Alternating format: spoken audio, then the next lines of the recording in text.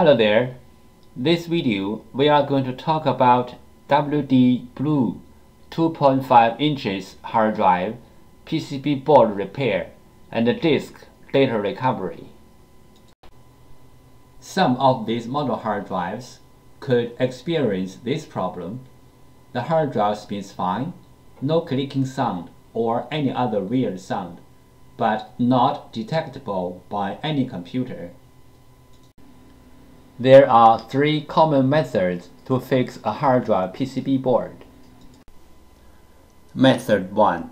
Clean the contacts. Clean the contacts on the PCB board and also on the hard drive can fix the problem caused by the poor connection between the PCB board and the hard drive. PCB board repair method 2 this picture shows the basic components on the PCB board and their functions. You may take this picture as a reference to fix your own PCB board. This picture shows other components on the PCB board. This picture shows the motor driver chip schematic diagram for repairing purpose. This picture shows the motor driver chip schematic diagram for repairing purpose. This picture shows the RAM and the controller schematic diagram for repairing purpose. Fixing hard drive PCB board method 3 PCB board swap PCB board swapping including two steps 1. Find the correct donor PCB board. 2. PCB board firmware transfer. PCB board swap step 1. Find out the correct donor PCB board. Locate the hard drive model number on the front of the hard drive label. Locate the hard drive PCB board number. Different brand name, different PCB board the PC board numbers are different. You may go to hdd-parts.com to check out other brand name PCB board numbers. After find out the hard drive model number and the hard drive PCB board number, we use them as a reference to search for the correct donor board. We found the correct donor PCB board for the hard drive, but this is only the first step. The next step is we have to do the PCB board firmware transfer to make the donor board work on the original hard drive. PCB board firmware PCB board firmware is the information data on the PCB board. It may be in the memory chip or in the main chip on the PCB board. For this model hard drive, we have to do the PCB board firmware transfer first then we swap the PCB board. Otherwise, the new board will not work on the original hard drive. Why do we have to do the PCB board firmware transfer? Because for this model hard drive, one PCB board includes two parts, hardware and firmware. The PCB board firmware includes hard drive's unique configuration data. The hard drive needs this unique configuration data to work. So we have to transfer this unique configuration data from the original board to the donor board. Then the donor board can work on the original hard drive. Regarding the hard drive PCB board firmware transfer, we have three things to mention. First, PCB board firmware transfer is different from the hard drive firmware upgrade. The PCB board firmware transfer is to transfer the PCB board firmware from one board to another board. The hard drive firmware upgrade is to upgrade the hard drive's own firmware. It nothing to do with another hard drive or another PCB board.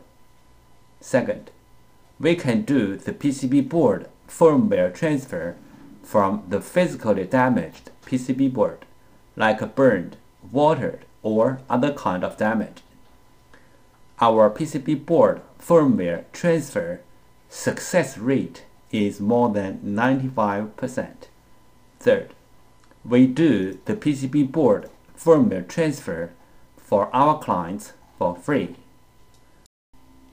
This picture illustrated the procedure of fixing a hard drive PCB board.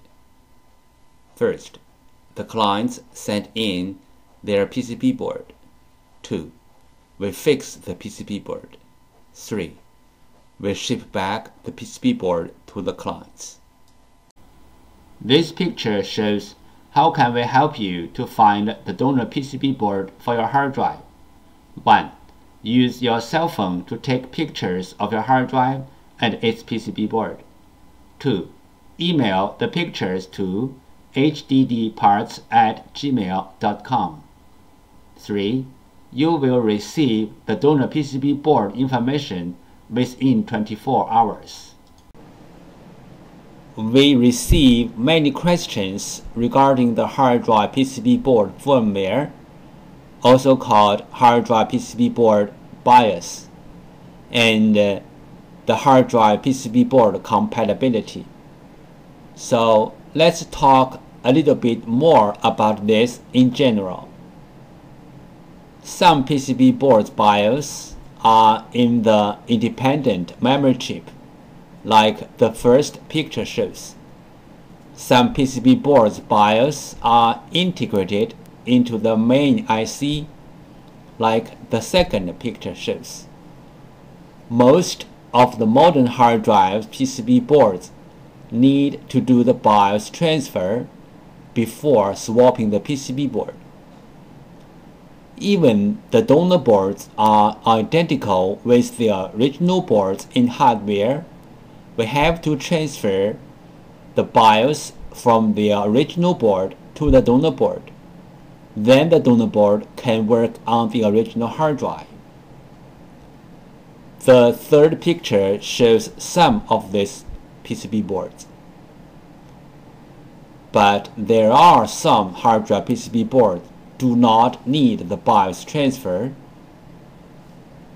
as long as the donor boards are identical with the original boards. You can swap the boards directly.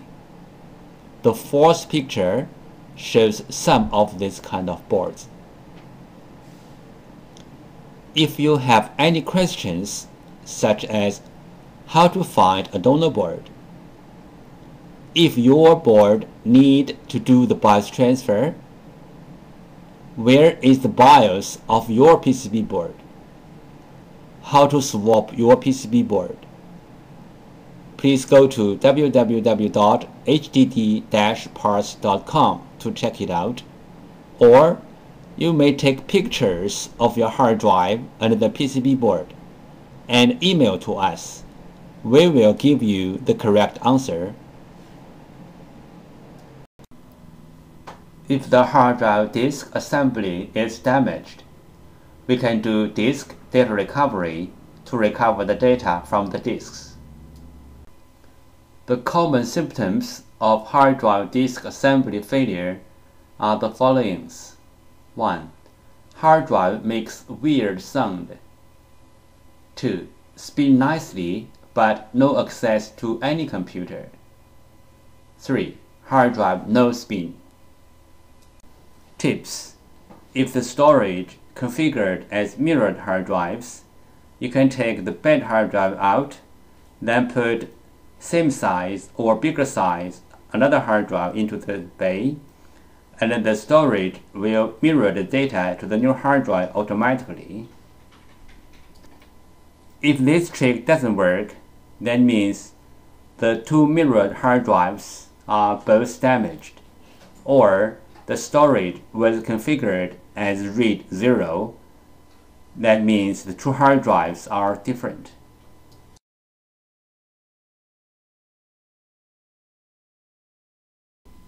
This picture shows how to use a fan to cool down the hard drive. There are some simple ways to recover data from a hard drive.